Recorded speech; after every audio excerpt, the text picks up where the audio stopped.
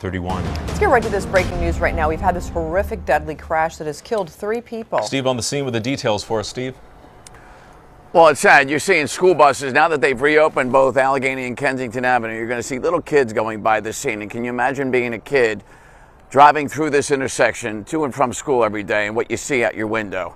It reminds me of horrific scenes I saw in Camden as a kid, uh, but nothing like the kids see here. See here. And now this morning, uh, as the medical examiner showed up, and you see police going back to this scene what a hard job this is going to be because we have been telling you, and if you're just waking up and seeing this for the first time, there is a driver killed in that wreckage, and the whole front of that Honda Pilot's gone. But worse, two pedestrians, a woman and man hit, decapitated and dismembered, both under that vehicle and under all the debris. You can see a part of the steel turnstile on top of a pile of bricks where a victim that was crushed by this car, hit by the impact of it going 100 miles an hour into them, and then getting hit by uh, the debris that fell on top of them. And in fact, a lot of that turnstile is this far back from us, you know, 60, 70 feet away. Uh, one good thing is uh, this fellow here hearing me all morning is now waking up because I was afraid he wasn't even alive. Uh, but that's the kind of folks that are here 24 7. Uh, this is the corner where a lot of the heroin and fentanyl use is. And in fact, because it's so busy and so crime ridden, uh, Philly police now have a beat here. And it was the cop that we were here with yesterday who happened to be here and heard this Honda Pilot coming eastbound down Allegheny. You can see it curves right under the L. He hears it, he looks up and sees it, and then sees this accident in a blur. And he is the one that says this thing was going 100 miles an hour or faster. And this vehicle is registered out of Shamokin, Pennsylvania, a town I never heard of. And the one cop that ran it down said it was two and a half hours from Philadelphia in Northumberland County, which is northwest of here. And here is Chief Inspector Scott Small on what he saw and heard from the investigators on scene here.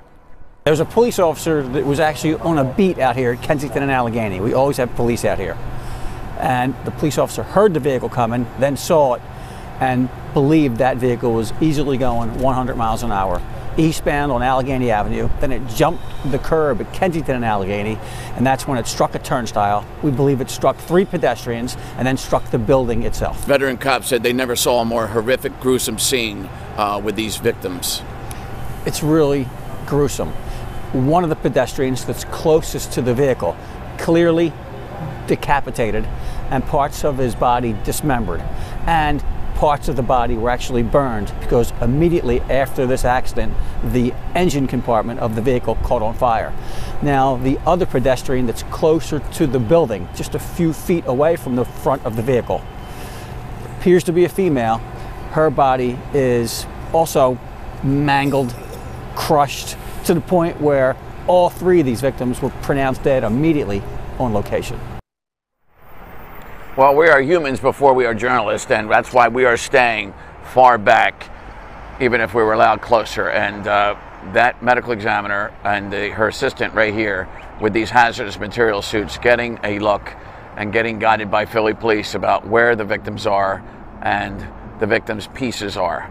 And this is going to be a tough job for them. And you always think about first responders, and uh, boy, uh, does this job stay with you? uh, when you talk to them when they go home to their families. Just horrific. And one cop said this could have been so much worse, judging by how many people were out here, so many people in the path of that vehicle that somehow weren't hit. That vehicle not just missed a whole bunch of people, but a whole bunch of obstacles. He got under the L without hitting the L pillars, without hitting the telephone pole, the street signs, the traffic signs. And because he wasn't slowed down at all, he hit these victims in triple digit speed with that impact. And that's why he hit that building, the Allegheny station. There you can see it says SEPTA Allegheny station on top. And as the train rolls through this station, as Bob's been telling everybody, uh, good thing too, because L&I is still trying to uh, establish the structural integrity of that building based on the impact that it was hit at. And boy, when you look at that turnstile, those things are as heavy as it gets. And boy, the police are just having trouble walking around that scene there too. So they're getting a little help with daylight, and there's plenty of cops here as we pan to the left. But again, there's little kids uh, on these stop school buses a lot closer than we are right now. And hopefully, uh, the bus driver is keeping the kids' attention from looking uh, out the window and seeing this. But what an awful scene here uh, for Philadelphia. And again, this is a busy stop, and Philadelphia school buses will be going past here to and from uh, their schools because they had probably no idea that they, they were going to come this close to a horrific scene. And hopefully, uh, you know, the police are good with holding up sheets and things, so they won't let any kids see anything. Just awful out here.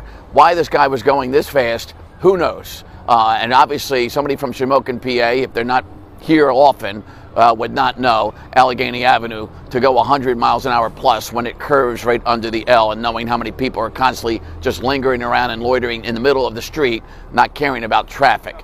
Uh, so that's what we had here. Guys? Absolutely awful. Steve, thank you.